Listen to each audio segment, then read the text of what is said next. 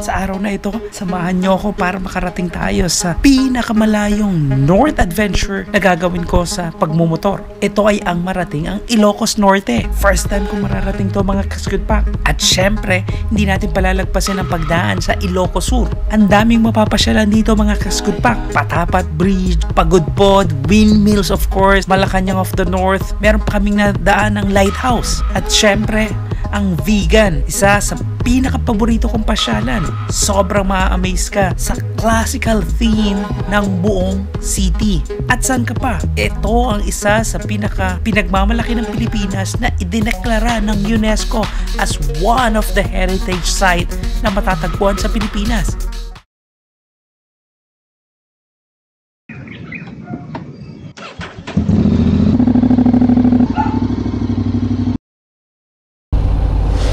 Yan mga kascute pack. Biyak kaming north oh, No final destination again. Siyempre adventure tayo mga kascute pack Pero plano namin makarating ng Ilocos Norte. Time check siguro wala pang 7 Yan mga kascute pack So eto pupunta kaming north. Naputol kanina yung vlog ko. Pero anyway ito ang target namin is pumunta ng Ilocos Norte.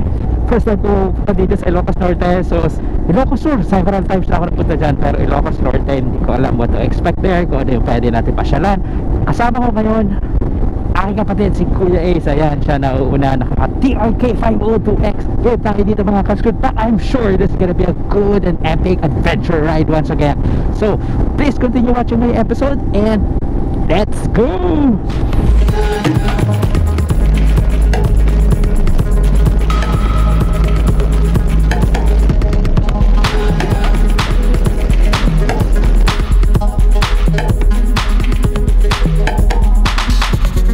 Ayun mga kaskit pack, so nandito kami sa Rosario. Ayan, medyo nag-stop over muna at nag-stretching. Pero so far, so good. Time check. Wala pang 9am So 2 hours na 1, 1 hour 45 minutes yung biyahe namin From San Fernando, Pampanga. And again, destination namin somewhere sa north Okay, so excited ako. Hindi ko alam kung saan kami makakarating Pero as far as we can travel basta hindi kami abutin ng dilim or ng ulan or diretso lang kaming north. Sana Ilocos marating namin Ilocos Norte. Hindi rin kami nagbabantay ng oras para walang pressure at wala kaming wala kaming nahabol. Yan ang importante pag nagra-ride para ma-enjoy nyo ang journey. Eh dagi dagi dagi dagi ngayon nasa Aguo kami! Yeah Bawang La Union yeah ano to? Ito, bulalo. Ah, uh, time check 9.32 Ayan, naiiwan ko pala yung susi dito. Buti walang kumuha.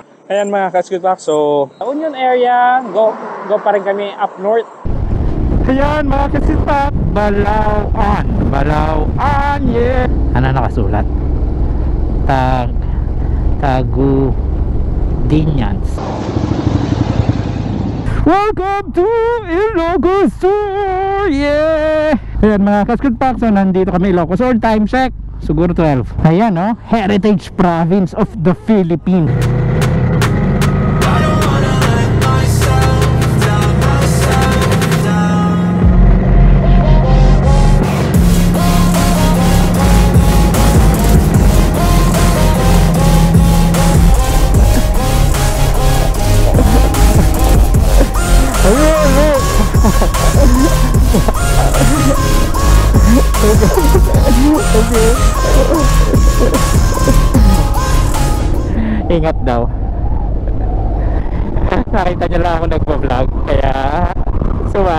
Sumali. Sana nakita niyo si Sarah G. Hindi, joke lang. Kala ko si Sarah Geronimo talaga, promise.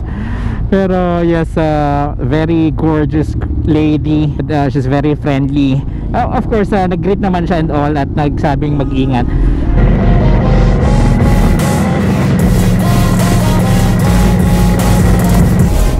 oras ilan na 4 or 5 hours lagot lalauna na eh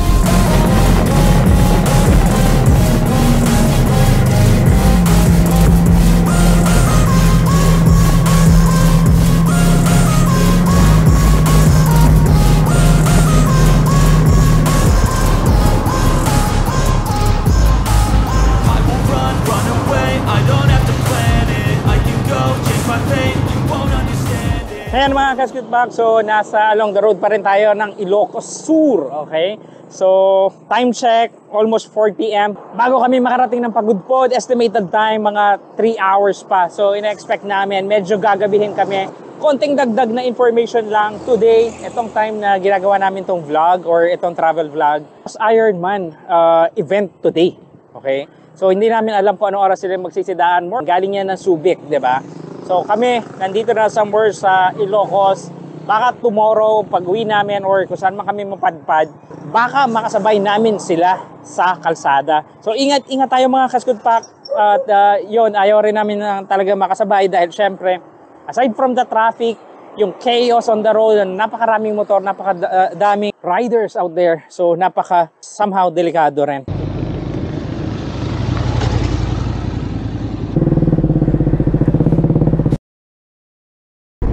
Ayan mga kaskutbag, so dumaan kami sa Curimao. Itong kalsadang ito papunta to sa Paway Church at Malacanang of the North, etc. etc. Ngayon, since 5.08pm na, plano namin dumiretso na sa Pagudpod para abutin pa rin namin ang liwanag kung sakali man ba 1 hour to go di namin alam kung abutin pa namin and at the same time okay priority namin makahanap ng lugar na tutuluyan so ito po nasa barangay na kami ng Paway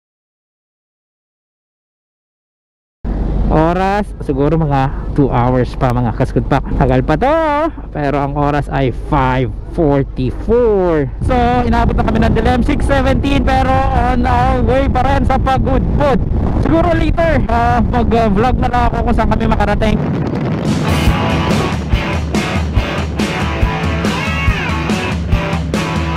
Seven a.m. kami umalis ng San Fernando, Pampanga pa yun ah. So, although talagang mabagal yung pacing namin aside from that marami kaming tigil it's okay it's fine oh dami Woo! ayan lakas ng hangin nga dahil sa ang dami electric pan dito A few minutes later. Okay, eto mga kaskut pa. So, karating ko kami dito sa Blue Lagoon na area. Kung kilala niyo si J4, J4 na motovlog, nagpunta siya dito one time, adventure rider. So yan, Lodi yan. This is exactly kung saan kami nandoon ngayon. Later, makikita nyo, ito lang yung open dito na lugar na maliwanag, maliwalas, maganda yung parking. Tingnan natin sa labas. Affordable, kaharap ng beach. Nilan kami kanina, medyo ambon. Kaya natigil na naman na aking motovlog. Pero nonetheless, we're happy to be here. Six and a half hours later. Morning, mga kaskutak. Ito the next day na. Napakaganda dito mga kaskutak. Tingnan nyo naman, tingnan nyo yan. Sa likod namin, lakas ng hangin. Meron ito napakalaking electric fan.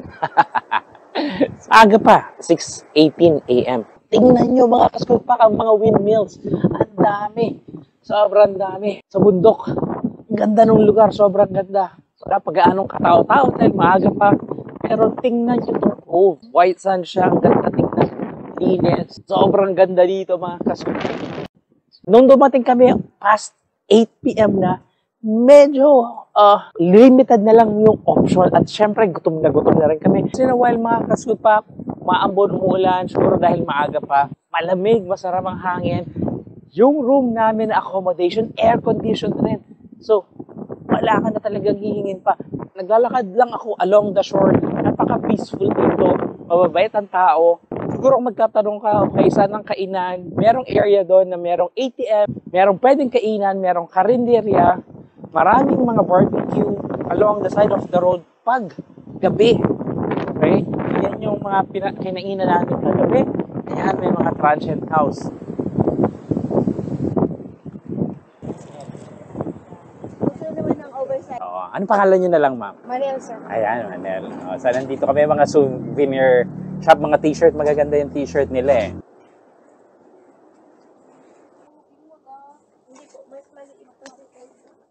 Wow, sarap naman yan, te.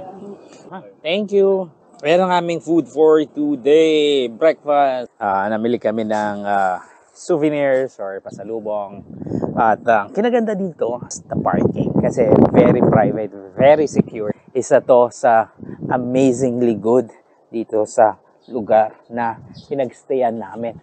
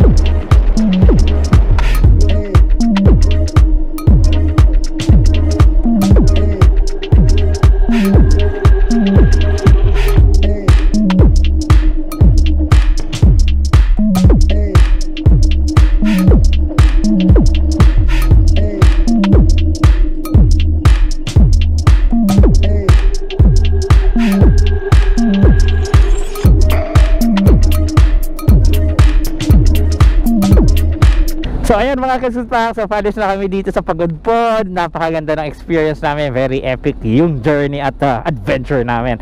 Okay, nagpagas lang ako. May mga gas station dito, amazingly eh. Ang galing. So two gas stations yung nakita ko. Pero yep, that's very convenient. Sobrang lakas lang ng hangin ngayon mga kaskut pa kaya talagang pahirapan yung drone. Tipong uh, ubusin niya yung baterya mo in like less than 10 minutes. Woo, ganda dito mga kaskut pa. Ang dami, ang, lapit nung windmill. Sobrang laki. Makikita mo lang yung parang blade. Ito pakita ko yung picture. So ang gandang tingnan. So amazing. Ayan siya. Look at that. Yan nakikita normally. Pero this is so much closer. Ito nasa, yan oh, makikita mo yan. Talagang madadaanan mo. Kahapon yun, alas 10 ng gabi. Nagsimula. Ayaw sa Subic. Subic, Subic, oo. ng umaga. Correct, oo. So ito, ah, kain lang kami. Ah, lunch break. Sobrang init talaga dito pero kailangan nyo mag-rehydrate lagi. 12 seconds later. Ganda.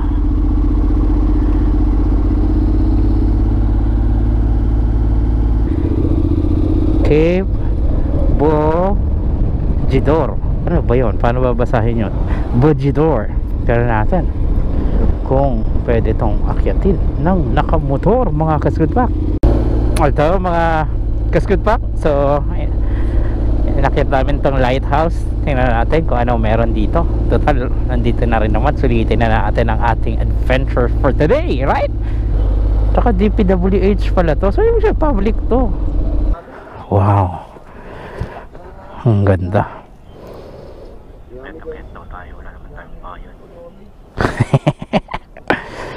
Tignan mo yun, nalawak ko. Parang sa Europe lang. Na-imagine mo yun sa... Ganda dito, mga kaskot pa. Makikita niyo ang kalawakan. So, tama talaga nandito yung lighthouse kasi overlooking, hindi lang buong stretch ng ng Northern Luzon. Pero ang ganda. Sobrang ganda. Look at this. Yung s- Hindi lang kita yung mga windmills eh. Kung dito sana yung nakahilera kuya is, ayan oh. Hello mga good pack! Time check! 4.30 almost. Papunta kaming Malacanang of the North. So, never been here so hindi ko alam kung what to expect. Pero let's see what's gonna be here. Hopefully, something interesting! Yeah mga good pack!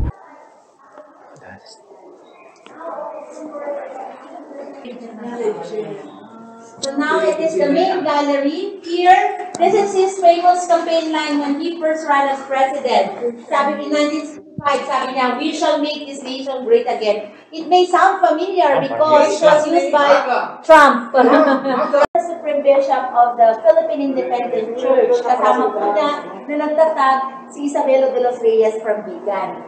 In fact, uh, he is also from Batak and he was uh, the one who baptized Marcos. Dito kami galing. That's Patapat Bridge. So, ito yung amazingly, uh, imagine mo, panahon at era ni Marcos. Airport.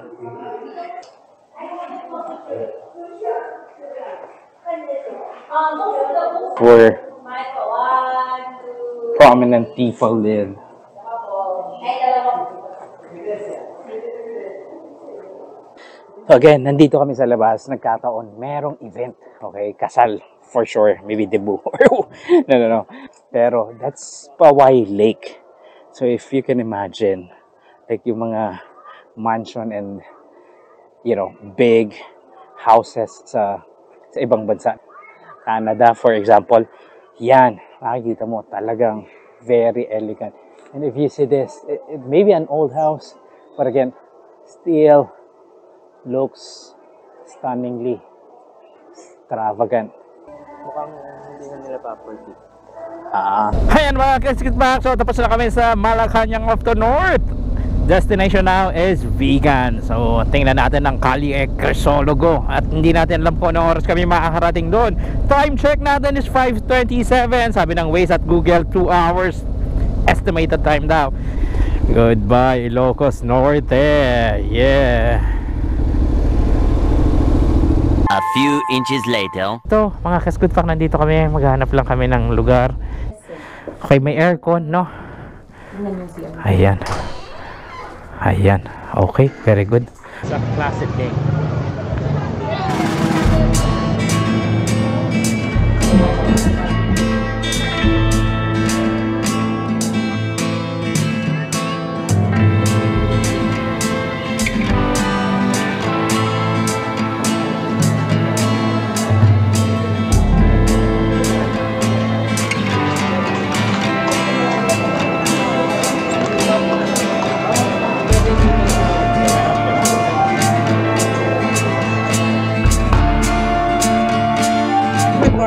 Mga Kaskud Packs. So today, ayan, tapos na kami. Nandito kami pa rin sa vegan, sa hotel. Ah, okay. Uh, magkatabi pa rin kami ng kapatid ko, syempre. So, yan. ah, may toilet, nagayan. Helmet ko nandito, nag-charge and all. So, samahan nyo kami mga Kaskud Packs today. A quick ah, little tour lang dito sa vegan, dito sa Kalye, uh, Crisologot. Yan mga Kaskud Packs. So, ayan, nandito kami sa Stay In Ah, stay in style. Lapit lang. Ah, kalye, solo siguro mga 3 blocks away. Ito yung main highway palabas ng munisipyo. Tapos, kabilang side, 2 blocks. Okay, 2 blocks. Landmark mo is yung BPI na bangko na classic style. Okay, so, ayan. So, kung interested kayo, ayan siya. Yung uh, accommodation, dalawa kami, two 2,300 roughly. May kasama ng breakfast. Pero simple ang uh, 3-in-1 coffee and uh, muffin. Ayan, makikita nyo yung motor na dyan. May sariling parking. Pag nagka-travel tayong ganito, ang gusto natin is the most comfortable na pwede natin tuluyan dahil sa haba ng biyahe. Although meron kaming camping gears, and insurance namin if in case wala kami mahanap na matutuluyan. Para rin siyang hotel, Mag- maganda, maganda. Kahit pagpasok mo, ayan, makikita mo naman dyan. Uh, two blocks away to from uh, Calye Crisologo.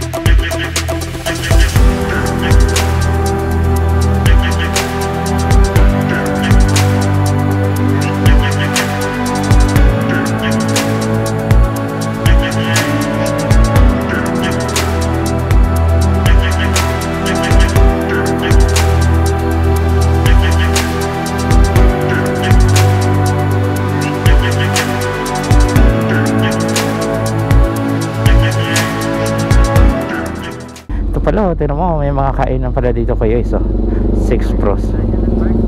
Yeah. So dito sa Ilocos or sa main city mismo, marami yung mga one ways and all kaya oh ayun no.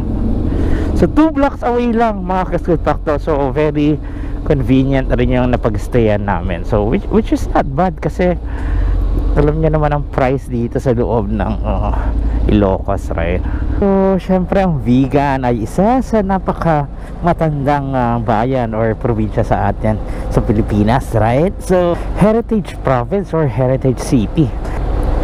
At ang kinaganda dito sa vegan eh dineclare rin to ng UNESCO as one of the heritage uh, place or area. So again, City of Vegan, maraming salamat sa inyo sa pananatili ng ganitong klaseng uh, city for the Filipino people, 'di ba? So napakalaki uh, napakagandang puntahan mga kaskud pa. So, ayan. Tingnan nyo kahit mga bangko, pinanatili nila nasa classical na theme.